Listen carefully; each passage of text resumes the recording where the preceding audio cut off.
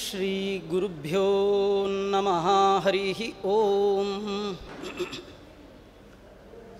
जयति हरिरचिन्त्यः सर्वदेवैकवन्द्यः परमगुरुरभीष्टावाप्तितत्सज्जनानां निखिलगुणगणार्णो नित्यनिर्मुक्तदोषः सरसिजनयनोऽसौ श्रीपतिर्मानदो नः ಬುದ್ಧಿರ್ಬಲಂ ಯಶೋಧೈರ್ಯಂ ನಿರ್ಭಯತ್ವಮರೋಗತ ಅಜಡ್ಯಂ ವಾಕ್ಪಟುತ್ವಂಚ ಹನುಮತ್ಸ್ಮರಣಾತ್ ಭವೇತ್.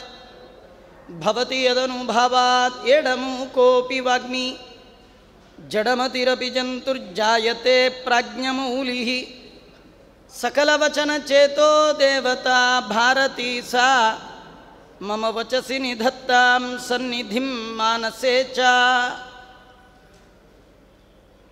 ಅರ್ಥಿಕಲ್ಪಿತಕಲ್ಪೋಯಂ ಪ್ರತ್ಯರ್ಥಿಗಜಕೇಸರಿ ವ್ಯಾಸತೀರ್ಥಗುರುರ್ಭೂಯಾತ್ ಅಸ್ಮದಿಷ್ಟಾರ್ಥಸಿದ್ಧಯೇ ಮೂಕೋಪಿ ಯತ್ಪ್ರಸಾದೇನ ಮುಕುಂದಶಯನಾಯತೆ ರಾಜರಾಜಾಯತೆ ರಿಕ್ತೋ ರಾಘವೇಂದ್ರಂ ತಮಾಶ್ರಯೇ ತಪಸ್ವಾಧ್ಯಾಯ ಶುಶ್ರೂಷ ಕೃಷ್ಣ ಪೂಜಾರತಂ ಮುನಿಂ ವಿಶ್ವೇಶಂ ಇಷ್ಟದಂ ವಂದೇ ಪರಿವ್ರಾಟ್ ಚಕ್ರವರ್ತಿನಂ ಆಪಾದಮೌಲಿ ಪರ್ಯಂತಂ ಗುರೂಣಾಂ ಆಕೃತಿಂ ಸ್ಮರೇತ್ ತೇನ ವಿಘ್ನಾ ಪ್ರಣಶ್ಯಂತಿ ಸಿದ್ಧ್ಯಂತಿ ಚ ಮನೋರಥಾ ಸ್ವಸ್ತ್ಯಸ್ತು ಸತಾಂ ಅಶೇಷ ಸನ್ಮಂಗಲಾನಿ ಭವಂತು. ಶ್ರೀ ಗುರುಭ್ಯೋ ನಮಃ ಹರಿ ಓಂ. ಶ್ರೀಮನ್ಮಧ್ವಮತೆ ಹರಿಪರದರ. ಸತ್ಯಂ ಜಗತ್ತತ್ವತೋ ಭೇದೋ ಜೀವಗಣಾ. ಹರೇರನುಚರಾ ನೀಚೋಚ್ಚ ಭಾವಂಗತ. ಮುಕ್ತಿ ನೈಜ ಸುಖಾನುಭೂತಿ ಅಮಲ ಭಕ್ತಿಶ್ಚ ತತ್ಸಾಧನಂ ಹೆಕ್ಷಾದಿತ್ರಿತಯಂ ಪ್ರಮಾಣಮಖಿಲಾಂ ನಾಯೈಕ ವೇದ್ಯೋ ಹರಿ ಶ್ರೀ ಗುರುಭ್ಯೋ ನಮಃ. ಹರಿ ಓಂ.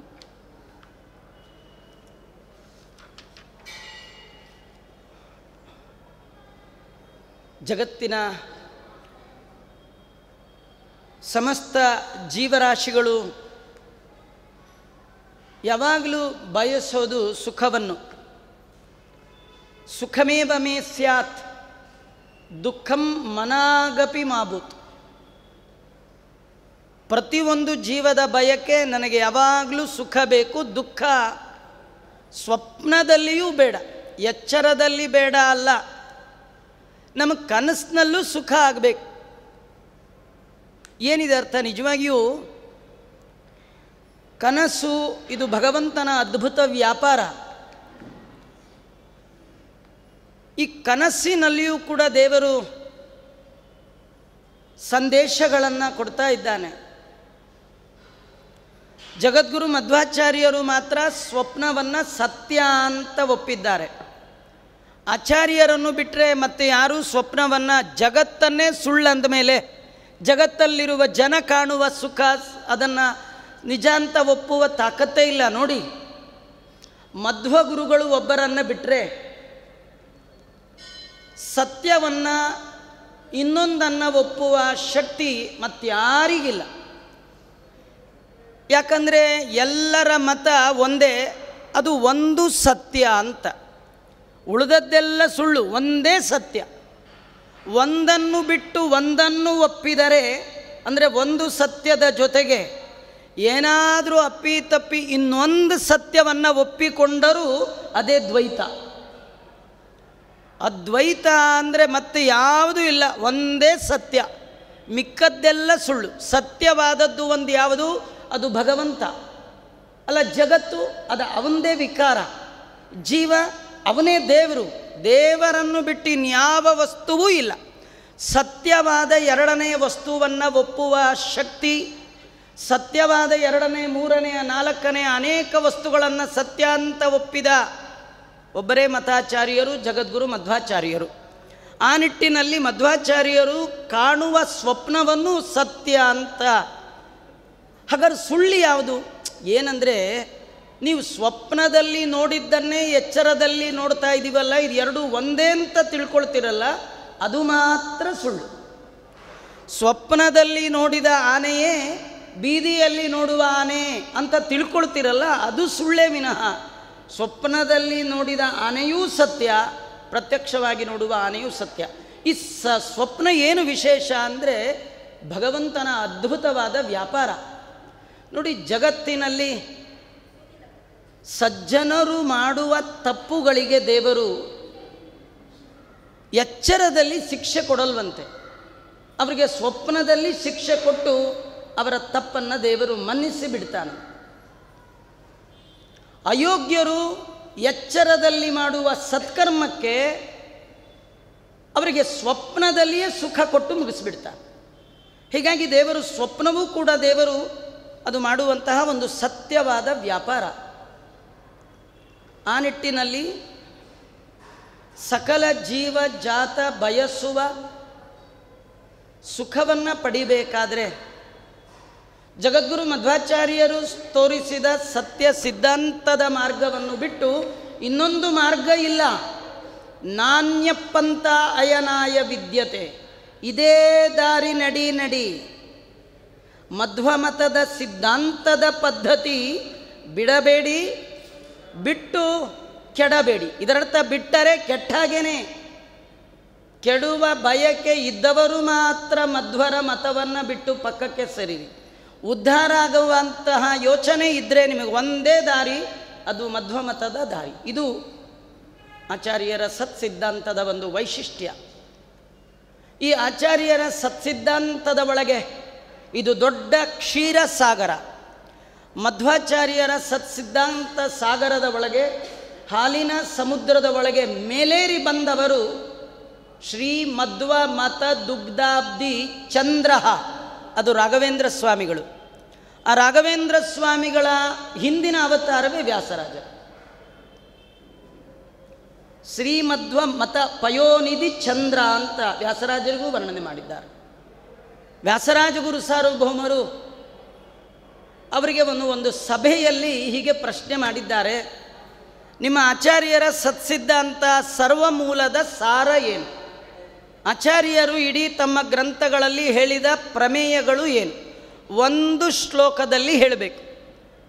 ಅಂತ ಕೇಳಿದಾಗ ತರುಣ ವ್ಯಾಸರಾಜರ ಮುಖ ಕಮಲದಿಂದ ಬಂದ ನಾಲ್ಕು ಸಾಲು, ಆಚಾರ್ಯರ ಎಲ್ಲ ಗ್ರಂಥಗಳ ಪ್ರಮೇಯ ಸಾರವನ್ನು ಸಂಗ್ರಹ ಮಾಡಿಕೊಟ್ಟಂತಹ ಒಂದು ಸಂಪುಷ್ಟ. ದೇವರ ಪೆಟ್ಟಿಗೆಯಲ್ಲಿ ಎಲ್ಲ ದೇವರನ್ನು ಇಟ್ಟು ಆ ಪೆಟ್ಟಿಗೆಯನ್ನು ಮುಚ್ಚಿಟ್ಟು ಕೈ ಮುಗಿಯುವಂತೆ ಇಡೀ ಮಧ್ವಮತದ ಎಲ್ಲ ಪ್ರಮೇಯವನ್ನು ಒಂದು ಶ್ಲೋಕದ ಒಳಗೆ ಮುಚ್ಚಿಟ್ಟು ಬಚ್ಚಿಟ್ಟು ಕೊಟ್ಟದ್ದು ವ್ಯಾಸರಾಜಗುರು ಸಾರ್ವಭೌಮರು. ಎಲ್ಲ ಮತಗಳು, ಕೆಲವರಲ್ಲಿ ಒಂದು ಅಭಿಪ್ರಾಯ, ಇದು ವ್ಯಾಸರಾಜರದು ಅಲ್ಲ ಅಂತ. ನಾನು ಹೌದು, ಅಲ್ಲ ಅನ್ಲಿಕ್ಕೆ ನನ್ನ ಯೋಗ್ಯತೆ ಏನು? ಆದರೆ ಇದು ಹೌದು ಅನ್ಲಿಕ್ಕೆ ಭಾಗವತ ಸಾರೋದ್ಧಾರಕಾರರು, ವಿಷ್ಣು ತೀರ್ಥರು, ಅವರ ಶಿಷ್ಯರು, ಬಾಳಾಚಾರ್ಯರು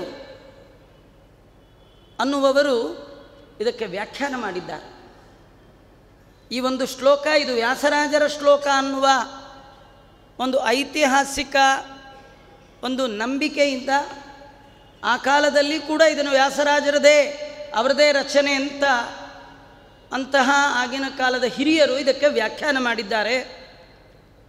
ಆ ವ್ಯಾಖ್ಯಾನವನ್ನು ಆರಂಭ ಮಾಡ್ತಾ, ಇಹ ಕಲು ನಿಖಿಲ ಕಲಕುಲ ಬಲ ವಿಲುಲಿತ ಕಲಿಕಾಲ ಕಾಲಿತ ಮನಸಃ ಜನಾನ್ ಅಪಾರ ಸಂಸಾರ ಸಾಗರ ನಿಮಗ್ನಾನ್ ಉದ್ದೀರ್ಷುಣ ಭಗವತ ಶ್ರೀ ಮರುದವತಾರ ಭೂತೇನ ಆನಂದತೀರ್ಥ ಪರನಾಮ್ನ ಶ್ರೀ ಮಧ್ವಾಚಾರ್ಯೇಣ ವಿರಚಿತ ಸಪ್ತತ್ರಿಂಶತ್ ಗ್ರಂಥ ಪ್ರತಿಪಾದಿತ ಸಿದ್ಧಾಂತ ಸಾರ ಸಂಬಿತ್ ಸಂಪಾದನೆಚ್ಛುನ ಶ್ರೀಮದ್ ರಾಜಾದಿರಾಜೇಂದ್ರ ಸಭಾಜಿತೇನ ವಿವಿಧ ವಿಬುಧ ಮಂಡಲಿ ವಿರಾಜಿತೇನ ಶ್ರೀ ಬಲಭದ್ರ ಸಿಂಹೇನ ಅರ್ಥಿತಃ ಧಾರವಾಡ ಪುರಸ್ಥಃ ಶ್ರೀ ಕೃಷ್ಣಾಚಾರ್ಯಾದ ಉತ್ತರತ್ವೇನ ಪ್ರಾಚೀನಮೇವ ಪದ್ಯಂ ಅನುವದತಿ ಶ್ರೀಮತಿಥಿ ವ್ಯಾಸರಾಜರಿಂದ ರಚಿತವಾದಂತಹ ಈ ಒಂದು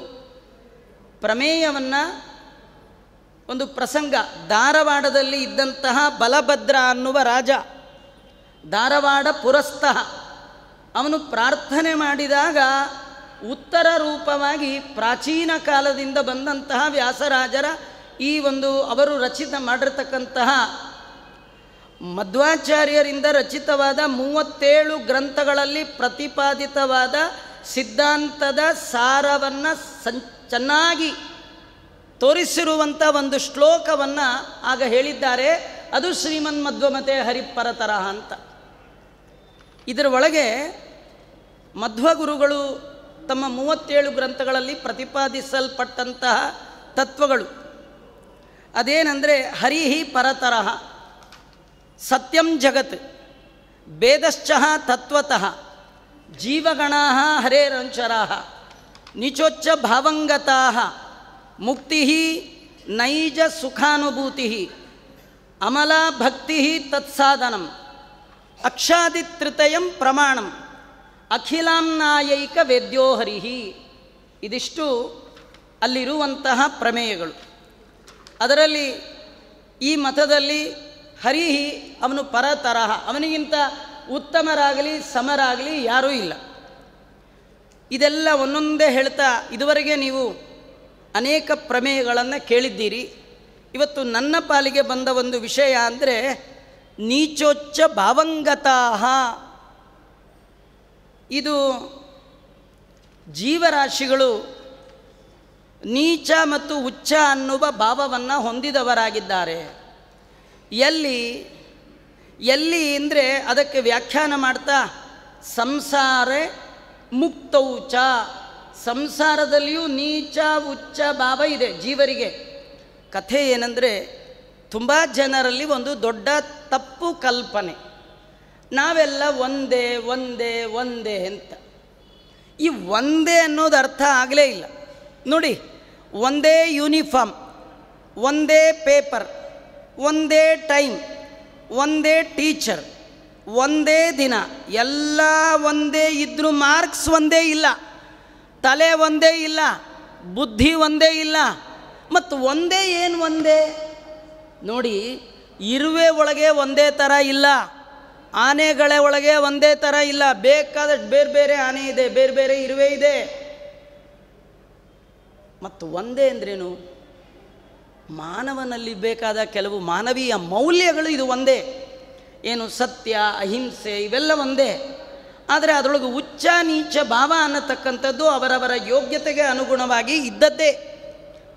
ಅವರ ಸಾಧನೆಯಲ್ಲಿ ನೀಚತ ಇದೆ, ಉಚ್ಚತ ಇದೆ.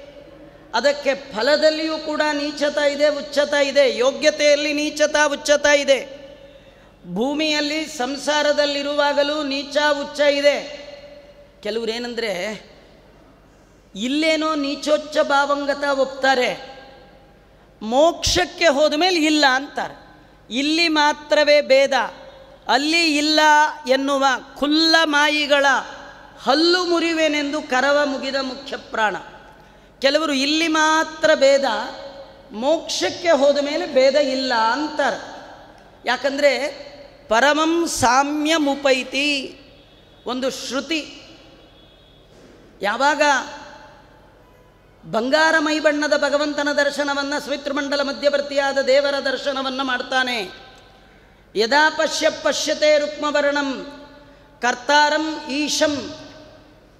ಆ ಭಗವಂತನ ದರ್ಶನ ಮಾಡ್ತಾನೆ. ತದಾ ವಿದ್ವಾನ್ ಪುಣ್ಯ ಪಾಪೆ ವಿದೂಯ ನಿರಂಜನಂ ಪರಮಂ ಸಾಮ್ಯಮುಪೈತಿ.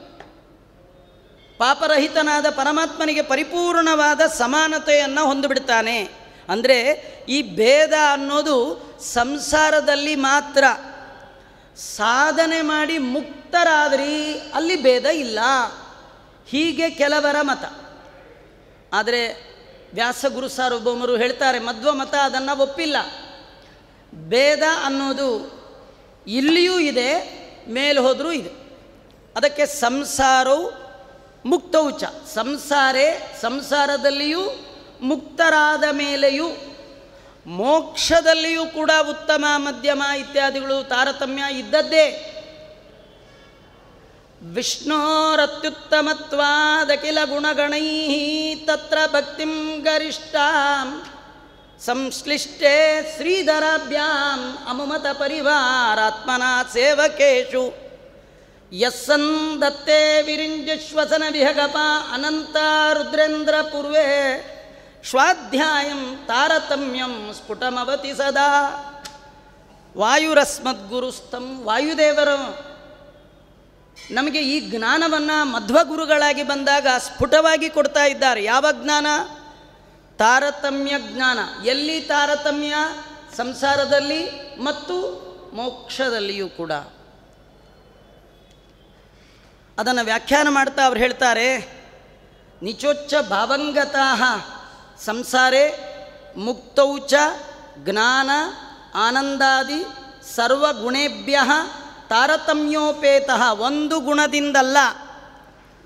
ಜ್ಞಾನದಲ್ಲಿ ತಾರತಮ್ಯ, ಆನಂದದಲ್ಲಿ ತಾರತಮ್ಯ ಸಾಧನೆಯಲ್ಲಿ ತಾರತಮ್ಯ, ಯೋಗ್ಯತೆಯಲ್ಲಿ ತಾರತಮ್ಯ. ನೋಡಿ, ಬಲ್ಪ್, ಎಲೆಕ್ಟ್ರಿಕ್ ಬಲ್ಪ್ ನೋಡಿದ್ರೆ ಎಲ್ಲವನ್ನು ಬಲ್ಪ್ ಬಲ್ಪ್ ಬಲ್ಪ್ ಅಂತಾರೆ. ಒಂದೇ ಹೆಸರಿಂದ ಕರೀತಾರೆ. ಅಂಥೇಳಿ ಝೀರೋ ಕ್ಯಾಂಡ್ಲ್ ಬಲ್ಪ್ಗೂ ತೌಸಂಡ್ ವ್ಯಾಟ್ಸ್ ಬಲ್ಪ್ಗೂ ವ್ಯತ್ಯಾಸ ಇಲ್ಲ. ಝೀರೋ ಕ್ಯಾಂಡ್ಲ್ ಯೋಗ್ಯತೆ ಅಷ್ಟೇ ದೊಡ್ಡದು ಅದ್ರ ಯೋಗ್ಯತೆ. ಅದ್ರ ಸಣ್ಣ ದೀಪ ಹಾಕಿ ದೊಡ್ಡ ಹಾಲಿಗೆ ಬೆಳಕನ್ನು ಎಕ್ಸ್ಪೆಕ್ಟ್ ಮಾಡಿದ್ರೆ ಹೇಗೆ ಸಿಗಲ್ವೋ? ಸಣ್ಣ ಯೋಗ್ಯತೆ ಇರುವವರು ದೊಡ್ಡ ಸಾಧನೆಯನ್ನು ಮಾಡ್ತೀನಿ ಅಂತ ಹೋದರೆ ಸಾಧ್ಯವೇ ಇಲ್ಲ. ನಿಂತ್ಕೊಳ್ಳೋಕ್ಕಾಗದೇ ಇದ್ದವ ಅಟ್ಟಕ್ಕೆ ಹಾರ್ತೇನೆ ಅಂದರೆ ಹೇಗೆ ಸಾಧ್ಯ?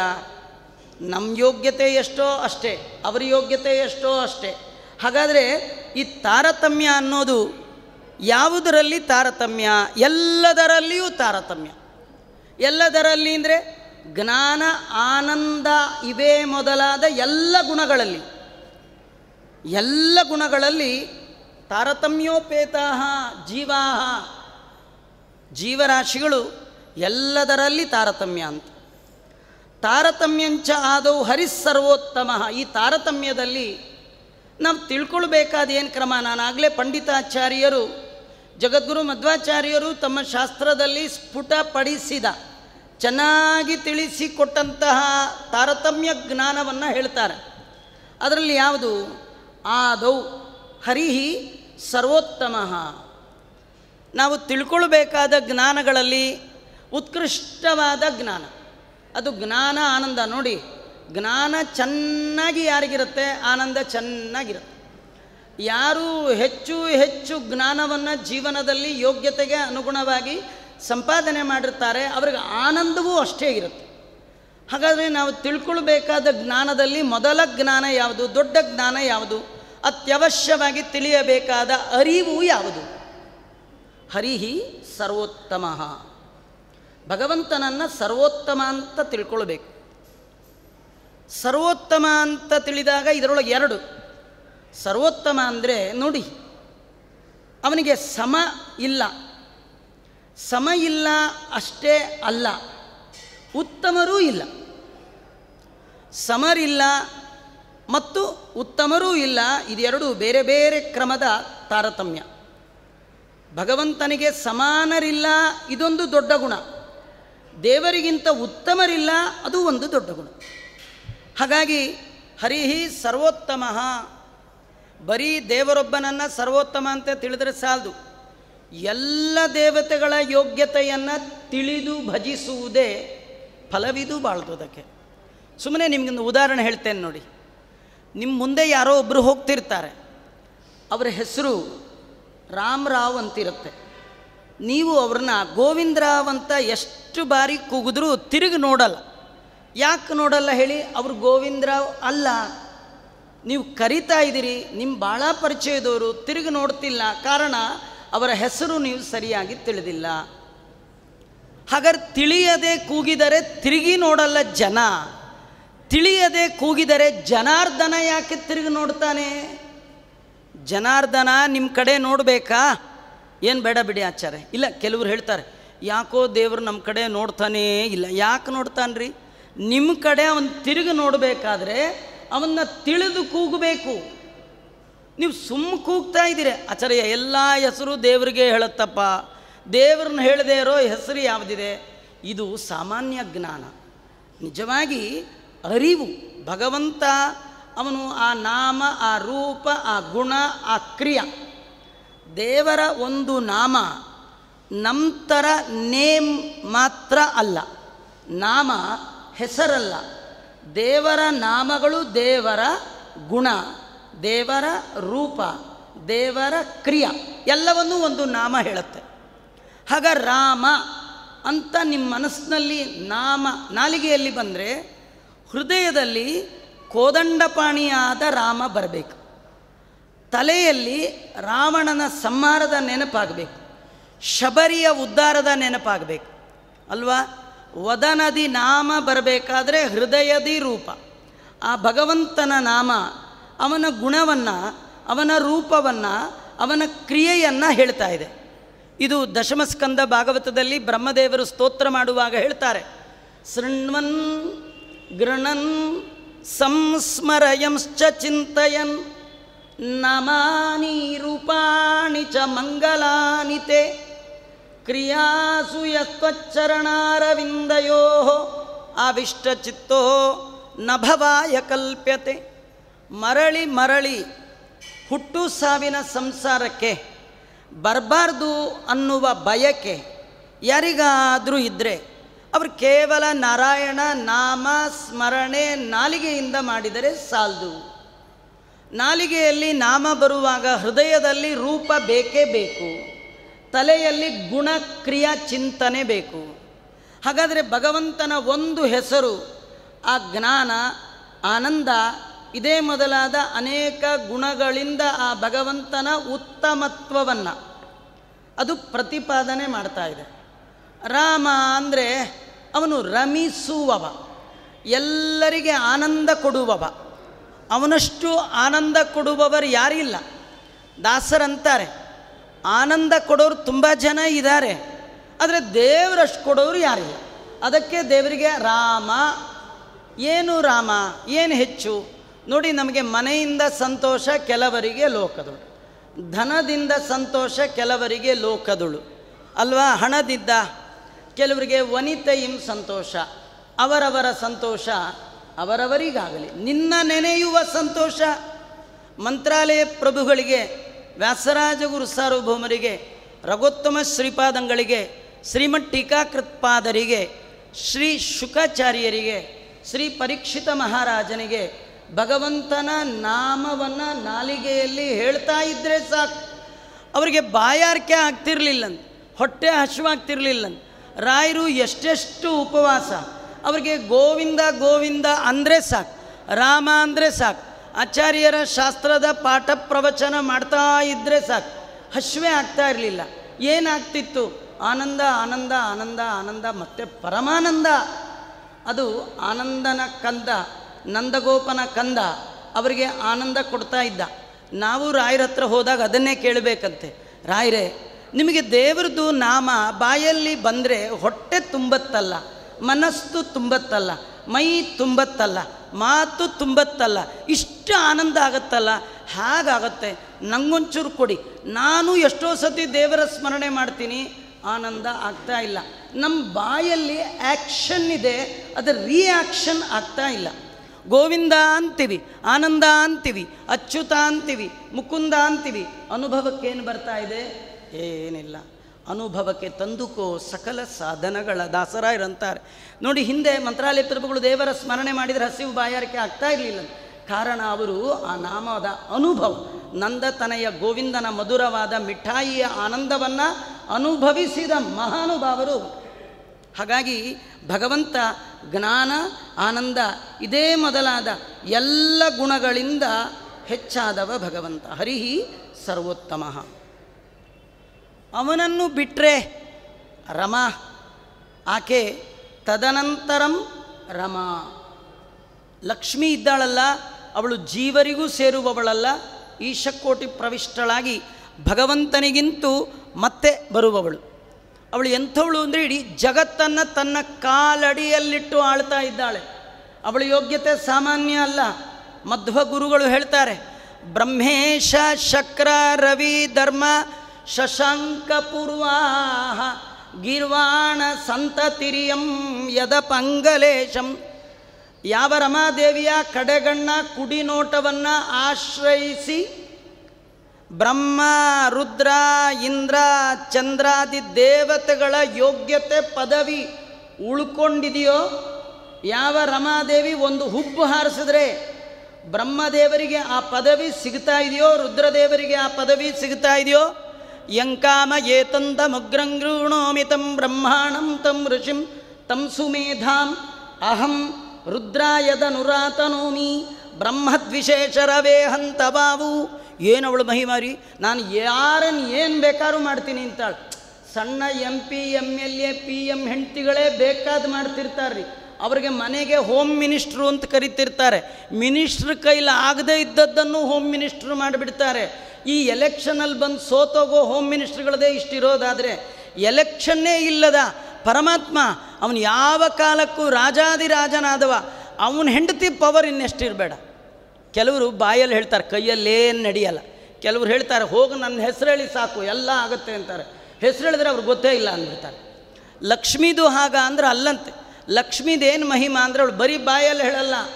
ಭವಿಷ್ಯೋತ್ತರ ಪುರಾಣದಲ್ಲಿ ಶ್ರೀನಿವಾಸನನ್ನು ಹುಡುಕುವ ಪ್ರಸಂಗ ಬಂದಾಗ ಬ್ರಹ್ಮದೇವರನ್ನು ಹಸು ಮಾಡಿಬಿಟ್ಲು, ರುದ್ರದೇವರನ್ನು ಕರು ಮಾಡಿಬಿಟ್ಲು.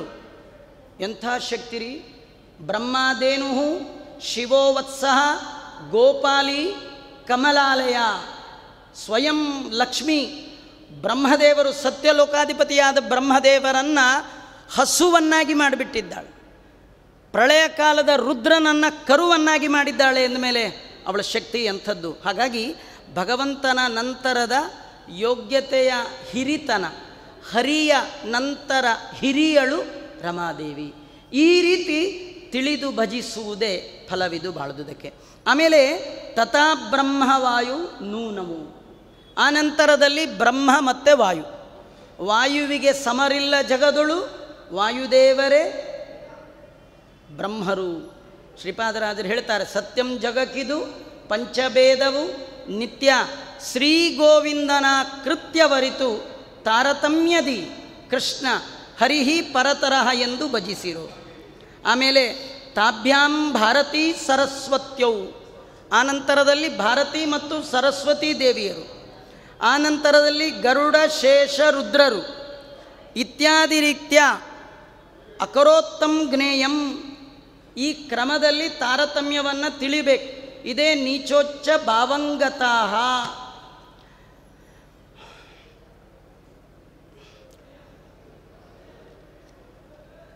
ಒಂದೇ ನಾವು ದೇವರ ಪೂಜೆ ಮಾಡುವಾಗ ಈ ತಾರತಮ್ಯವನ್ನು ಹೇಳಿಯೇ ದೇವರ ಪೆಟ್ಟಿಗೆ ಬಿಚ್ಚಬೇಕ್ರಿ. ದೇವರ ಪೂಜೆ ಮಾಡಬೇಕಾದ್ರೆ ತಾರತಮ್ಯದ ಅರಿವು ಇಲ್ಲದವ ದೇವರನ್ನು ಮುಟ್ಟುವ ಹಾಗಿಲ್ಲ. ನಮಗೇನು ಎಲ್ಲ ದೇವರು ಒಂದೇ ಅಂಥೇಳಿ ದೇವ್ರ ಪೆಟ್ಟಿಗೆ ತೆಗೆದು ತಟ್ಟೆ ಒಳಗೆ ಬೋರ್ಲ್ ಹಾಕಿ ಎಲ್ಲ ದೇವ್ರನ್ನೂ ಒಂದೇ ತಟ್ಟೆಯಲ್ಲಿಟ್ಟು ಏನಾದರೂ ನೀರು ಹುಯ್ದ್ರೋ ಒಂದೇ ಬಚ್ಚಲು ಮನೆ ಇದೆ, ಒಟ್ಟಿಗೆ ಒಂದು ನಾಲ್ಕೈದು ಜನ ಸ್ನಾನ ಮಾಡ್ಕೊಳ್ಳಿ ಅಂದ್ರೇ ಆಗಲ್ಲ. ಆಗತ್ತಾ? ಬಚ್ಚಲು ಮನೆ ಒಂದೇ ಇದೆ, ಸ್ವಲ್ಪ ಅಡ್ಜಸ್ಟ್ ಮಾಡ್ಕೊಳ್ಳಿ, ಇಲ್ಲ ನಾವು ಐವತ್ತು ಜನ ಸ್ನಾನಕ್ಕಿದ್ವಿ, ಒಟ್ಟೊಟ್ಟಿಗೆ ಹತ್ತತ್ತು ಜನಕ್ಕೆ ಹೋಗಿ. ನಿಮಗೇನೆಲ್ಲ ಒಂದೇ, ಎಲ್ಲ ಒಂದೇ ಇರೋರೇ ಹೋಗ್ಲಿಕ್ಕೆ ರೆಡಿ ಇಲ್ಲ. ಎಲ್ಲಿ ಬ್ರಹ್ಮ, ಎಲ್ಲಿ ಅವರಮ್ಮ? ಎಲ್ಲಿ ಬ್ರಹ್ಮ, ಎಲ್ಲಿ ಅವರಮ್ಮ. ಯಾರಮ್ಮ? ಲಕ್ಷ್ಮಿ. ಎಲ್ಲಿ ಬ್ರಹ್ಮನ ಸೊಸೆ ಪಾರ್ವತಿ. ಎಲ್ಲಿಯಾದರೂ ಒಂದೇ ತಟ್ಟೆಲಿಟ್ಟು ಮಾಡ್ಲಿಕ್ಕೆ ಬರುತ್ತಾ? ಸಾಮಾನ್ಯ ಜನನೇ ರೆಡಿ ಇಲ್ಲ. ಜನಾರ್ದನ ಹೇಗೆ ರೆಡಿ ಆಗ್ತಾನೆ? ಹಾಗಾದರೆ ಒಬ್ಬೊಬ್ರಿಗೆ ಒಂದೊಂದು ತಟ್ಟೆ ಇಡಬೇಕಾ? ಬೇಡ. ಒಬ್ಬೊಬ್ರಿಗೆ ಒಂದು ತಟ್ಟೆ ಇಡೋದು ಬೇಡ. ಆದರೆ ಕ್ರಮ ತಿಳಿದು ಮಾಡಿ ನಿಮ್ಮ ಮನಸ್ಸು ಬಂದಾಗ ಮಾಡಬೇಡಿ. ಒಂದೇ ವಿಷ್ಣುಂ ನಮಾಮಿ ಶ್ರಿಯಂ ಅಥ ಚ ಭುವಂ ಬ್ರಹ್ಮವಾಯೂ ಚ ವಂದೇ ಗಾಯತ್ರೀಂ ಭಾರತೀಂ ತಾಂ ಅಪಿ ಗರುಡಮನಂತಂ ಭಜೆ ರುದ್ರದೇವಂ ದೇವೀಂ ವಂದೇ ಸುಪರ್ಣೀಂ ಅಹಿಪತಿದಯಿತಾಂ ವಾರುಣೀಮಪ್ಯುಮಾಂ ತಾಂ ಇಂದ್ರಾದೀನ್ ಕಾಮಮುಖ್ಯಾನ್ ಅಪಿ ಸಕಲ ಸುರಾನ್ ತದ್ಗುರೂನ್ ಮದ್ಗುರುಶ್ಚ ಇದು ಕ್ರಮ ಇದು ಬಿಟ್ಟು ನಿಮ್ಮ ಮನಸ್ಸಿಗೆ ಬಂದಾಗ ಮಾಡ್ತೀನಿ ಅಂದರೆ ವಲ್ಲನೋ ಹರಿಕೊಳ್ಳನೋ. ಭಗವಂತ ಸ್ವೀಕಾರ ಮಾಡೋಲ್ಲ. ಹಾಗಾದರೆ ನೀಚೋಚ್ಚ ಭಾವಂಗತ ಇದು ಕೇವಲ ಮನುಷ್ಯರಿಗೆ ಮಾತ್ರ ಅಲ್ಲ, ದೇವತೆಗಳಿಗಿದೆ. ಮಧ್ವ ಮತದಲ್ಲಿ ಬಂದವರು ಅತ್ಯವಶ್ಯವಾಗಿ ಅರಿಯಬೇಕಾದ ಅರಿವು. ದೇವ ದೈತ್ಯರ ತಾರತಮ್ಯವು ಪಾವಮಾನಿ ಮತಾನುಗರಿಗೆ ಕೇವಲ ಅವಶ್ಯ, ಕೇವಲ ಅಂದರೆ ಮುಖ್ಯ. ಮುಖ್ಯವಾಗಿ ತಿಳಿಯಬೇಕಾದದ್ದು ತಾರತಮ್ಯ. ಯಾವ ತಾರತಮ್ಯ? ದೇವ ತಾರತಮ್ಯ ದೈತ್ಯ ತಾರತಮ್ಯ. ನೋಡಿ, ದೇವ ದೈತ್ಯರ ಇಷ್ಟೇ ಹೇಳಿದ್ದಾರೆ. ಮನುಷ್ಯರಿಗೆ ಅದಕ್ಕೆ ನಾವೆಲ್ಲ ಒಂದೇ ಒಂದೊಂದು ತಾರತಮ್ಯ ದೇವತೆಗಳಿಗೆ ದೈತ್ಯರಿಗೆ. ಇದರ ಅರ್ಥ ಏನು ಗೊತ್ತಾ? ಎ ಟು ಝೆಡ್ ಅಂತ. ಒಂದು ಅಂಗಡಿಗೆ ಹೆಸರು ಹಾಕಿರ್ತಾರೆ. ಎ ಟು ಝೆಡ್ ಮಾರ್ಟ್ ಅಂತ. ಎ ಟು ಝೆಡ್ ಅಂದರೆ ಬಿ ಸಿಗತ್ತಾ ಸಿ ಸಿಗತ್ತಾ ಡಿ ಸಿಗತ್ತಾ ಯಾರು ಕೇಳ್ತಾರ? ಎಲ್ಲ ಸಿಗತ್ತೆ ಅನ್ನೋದಕ್ಕೇ ಆದಿ ಮತ್ತು ಅಂತ್ಯದ್ದು ಹೇಳಿರ್ತಾರೆ. ಹಾಗೆ ದೇವ ದೈತ್ಯರನ್ನು ಹೇಳ್ತಾರೆ ಅಂದರೆ ದೇವ ಮಾನವ ದಾನವ. ಅದರಲ್ಲಿ ಮಾನವರನ್ನು ಬಿಟ್ಟಿದ್ದಾರೆ ಅಂದರೆ ಆ್ಯಡ್ ಮಾಡ್ಕೊಳ್ಳಪ್ಪ ಮದ್ಯದ ಬಿಟ್ಟಿದ್ದಾರೆ, ಅದನ್ನು ಹೇಳಬೇಕಾ? ಹಾಗಾದರೆ ದೇವ ಮಾನವ ದಾನವ, ಎಲ್ಲರ ತಾರತಮ್ಯವನ್ನು ತಿಳಿದು ಭಜಿಸುವುದೇ. ಆಚಾರೆ ದೇವತೆಗಳಲ್ಲಿರಲಿ, ದೈತ್ಯರಲ್ಲಿರಲಿ, ಈ ಮನುಷ್ಯರಲ್ಲಿ ಯಾಕೆ ತಾರತಮ್ಯ? ಒಂದು ಕೆಲಸ ಮಾಡಿ. ನಿಮ್ಮ ಮನೆಗೆ ಸ್ವಾಮಿಗಳನ್ನ ಕರೆಸಿ. ಸ್ವಾಮಿಗಳು ಬರೋಕ್ಕೆ ಮುಂಚೆ ಅವ್ರು ನಗಾರಿ ಬಾರಿಸೋರು, ಅಡುಗೆಯವರು ಬಂದಿರ್ತಾರೆ. ಏನು ನಮಗೆ ಸ್ವಾಮಿಗಳಾದ್ರೇನು ಯಾರಾದ್ರೇನು? ನೀವೇ ಕಾಲಿಡಿ, ನಿಮಗೆ ಪಾದ ಪೂಜೆ ಮಾಡ್ತೀವಿ ಅಂತ ಮಾಡ್ಸಕ್ಕೆ ಬರುತ್ತಾ? ಯಾಕೆ ಬರಲ್ಲ? ಬರಲ್ಲ ರೀ. ಎಲ್ಲಿ ಸ್ವಾಮಿಗಳು, ಎಲ್ಲಿ ಇವರು? ಅಲ್ವಾ? ಹಾಗಾಗಿ ಮನುಷ್ಯರಲ್ಲಿ ಭಾರೀ ತಾರತಮ್ಯ. ನಿಮಗೆಲ್ಲೋ ಒಂದು ಗೆಸ್ಟೆಡ್ ಆಫೀಸರ್ ಸೈನ್ ಆಗಬೇಕಾಗಿದೆ. ಆಫೀಸ್ಗೆ ಹೋಗಿರ್ತೀರಿ. ಆಫೀಸರ್ ಇರಲ್ಲ. ಹಸಿರು ಇಂಕಿನ ಕೊಟ್ಟು ಪೆನ್ ಪೆನ್ ಕೊಟ್ಟು ಯಾರ್ದೋ ಒಂದು ಸೈನ್. ನೀವು ಇದೇ ಆಫೀಸಲ್ಲಿ ಮಾಡ್ತೀರಪ್ಪ. ನಿಮ್ಮ ಕೈಲೂ ಹಸಿರು ಇಂಕಿದೆ. ಮಾಡಿ ಬರುತ್ತಾ? ಮನುಷ್ಯರಲ್ಲೇ ಬರಲ್ಲ. ಹಾಗಾದ್ರೆ ತಾರತಮ್ಯ ಅತ್ಯವಶ್ಯವಾಗಿ ಇರಬೇಕಾಗಿರ್ತಕ್ಕ. ಇದಂಚ ಅಥಾನಂದಸ್ಯ ಮೀಮಾಂಸಾ ತೈತ್ತರಿಯ ಉಪನಿಷತ್ತಲ್ಲಿ ಆನಂದದ ಮೀಮಾಂಸಾವನ್ನು ಶಾಸ್ತ್ರ ಹೇಳುತ್ತೆ. ಏನಂದರೆ ಹತ್ತತ್ತು ಹತ್ತತ್ತು ಕ್ರಮದಲ್ಲಿ ಹೆಚ್ಚೆಚ್ಚು ಮಾಡ್ತಾ ಹೋಗ್ತಾ ಇದೆ.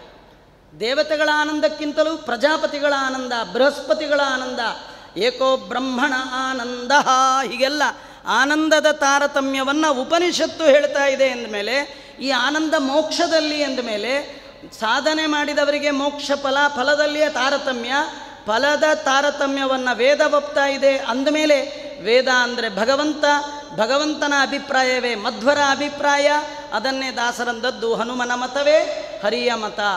ಭಗವಂತ ವೇದವ್ಯಾಸ ದೇವರು ಉಪನಿಷತ್ತುಗಳಲ್ಲಿ ಹೇಳಿದ್ದನ್ನೇ ಸೂತ್ರದಲ್ಲಿ, ಪುರಾಣಾದಿಗಳಲ್ಲಿ ಪ್ರಸ್ತುತಪಡಿಸಿದ್ದರ ಮೇಲೆ ಬೆಳಕನ್ನು ಹರಿಸ್ತಾ ಮಧ್ವಗುರುಗಳು ಹೇಳ್ತಾ ಇದ್ದಾರೆ ಈ ತಾರತಮ್ಯವನ್ನು. ಅದರಿಂದ ಇತ್ಯಾದಿ ತೈತ್ರಿಯ ಶ್ರುತಿ ಸಿದ್ಧಂ. ವೇದದಲ್ಲಿ ಸಿದ್ಧವಾದದ್ದು ಮೋಕ್ಷದಲ್ಲಿರುವ ಆನಂದದ ತಾರತಮ್ಯ. ಆದರೆ ಈ ವ್ಯಾಖ್ಯಾನ ಮಾಡುವಾಗ ಹೇಳ್ತಾರೆ, ಅತ್ರ ವಿಶಿಷ್ಟಾದ್ವೈತವಾದಿನೋ ಮುಕ್ತೌ ತಾರತಮ್ಯಂ ನ ಇಚ್ಛಂತಿ. ಯಾರು ವಿಶಿಷ್ಟಾದ್ವೈತಿಗಳು ಅಂತಿದ್ದಾರೆ ಅವರು ಮೋಕ್ಷದಲ್ಲಿ ಆನಂದ ತಾರತಮ್ಯ ಇಲ್ಲ. ಕಾರಣ ನಿರಂಜನ ಪರಮಂ ಸಾಮ್ಯಮುಪೈತಿ ಅನ್ನುವಂತಹ ಶ್ರುತಿ. ಭೋಗ ಮಾತ್ರ ಸಾಮಾನ್ಯ ಲಿಂಗಾಚ ಅನ್ನುವಂತಹ ಸೂತ್ರಾತ್. ಹಾಗಾಗಿ ಭೋಗ ಮಾಡುವಾಗ ಎಲ್ಲರಿಗೂ ಒಂದೇ. ಏನಂದರೆ ದೇವರು ಸಾರೂಪ್ಯ ಅಂತ ಮೋಕ್ಷ ಕೊಟ್ಟು ಬಿಡ್ತಾನೆ. ದೇವ್ರ ಥರಾನೇ ಅದು. ಕೆಲವರು ಥರಾನ ದೇವರೇ ಅಂತ ಅಂದ್ಕೊಂಡು ಬಿಡ್ತಾರೆ ಅಂದ್ಕೊಳ್ಬಾರ್ದು ನೋಡಿ ಮುಕ್ತರಾದವರಿಗೆ ದೇವರು ಶಂಖ, ಚಕ್ರ, ಗದಾ, ಪದ್ಮ ನಾಲ್ಕು ತೋಳು ಬರುತ್ತೆ, ನೀಲಿ ಮೈ ಬರುತ್ತೆ, ಹಳದಿ ಬಣ್ಣದ ಅವರಿಗೆ ಬಟ್ಟೆ ಎಲ್ಲ ಬರುತ್ತೆ. ಆದರೆ ಎಲ್ಲ ಬಂದರೂ ಎರಡು ಬರಲ್ಲ. ಒಂದು ಬ್ರಹ್ಮಾಧಿಪತಿತ್ವ, ಇನ್ನೊಂದು ಲಕ್ಷ್ಮೀಪತಿತ್ವ, ಜಗಜ್ಜನ್ಮಾಧಿಕಾರಣತ್ವ, ಇವ್ಯಾವೂ ಬರಲ್ಲ. ಇದು ಭಗವಂತನ ವಿಲಕ್ಷಣ ಲಕ್ಷಣ. ಅವನಲ್ಲಿ ಮಾತ್ರ ಹೊಂದುವಂತಹ ಲಕ್ಷಣ ಈ ಲಕ್ಷಣ ಅಂತ ಶಾಸ್ತ್ರ ಹೇಳ್ತಾ ಇದೆ. ಆದರೆ ಭೋಗ ಮಾತ್ರ ಮಾಡುವಾಗ ನಾನು ಮೋಕ್ಷದಲ್ಲಿದ್ದೀನಿ, ಅವನು ಮೋಕ್ಷದಲ್ಲಿ ಕೆಲವರು ಹೇಳ್ತಾರೆ ಎಲ್ಲಿ ಕೆಲಸ ಮಾಡ್ತಾ ಇದ್ದೀರಿ? ನಾನು ಚೀಫ್ ಮಿನಿಸ್ಟ್ರ್ ಹತ್ರ ಅಂತ ವಿಧಾನಸೌಧದಲ್ಲಿ. ಓಹೋ, ನೀವು ಮಿನಿಸ್ಟ್ರ್ ಇಬ್ಬರು ಒಂದೇ ಕಡೆ ಇದ್ದೀರಿ. ಹಾಗಾದ್ರೆ ಒಂದೇ, ಒಂದೇನಾ? ಎಲ್ಲಿ ಚೀಫ್ ಮಿನಿಸ್ಟ್ರು ನೀವು ಚೀಫ್ ಮಿನಿಸ್ಟ್ರು ಅವರು ಚೀಫ್ ಮಿನಿಸ್ಟ್ರು ಭಗವಂತ, ನಾವು ಮೋಕ್ಷದಲ್ಲಿ ಒಂದೇ ಇದ್ದೀವಿ ಅಂದರೆ ನಾವು ಚೀಫ್ ಅವನು ಚೀಫ್ ಇಷ್ಟೇ ವ್ಯತ್ಯಾಸ. ಹಾಗಾಗಿ ಅವನು ಎಂದೆಂದೂ ನಾವಾಗ್ಲಿಕ್ಕೆ ಸಾಧ್ಯ ಇಲ್ಲ. ಅವನು ಅವನೇ, ನಾವು ನಾವೇ, ನಾವು ಎಂದೆಂದೂ ದಾಸರು, ಅವನು ಎಂದೆಂದೂ ಈಶ. ಇದು ಬಹಳ ಮುಖ್ಯವಾಗಿರ್ತಕ್ಕಂಥದ್ದು. ಇದು ಮಮ ಸಾಧರ್ಮ್ಯಮಾಗತಾ ಇತಿ ಭಗವದ್ವಚನಾತ್. ಭಗವಂತನ ಮಾತೇ ಹೀಗಿದೆ.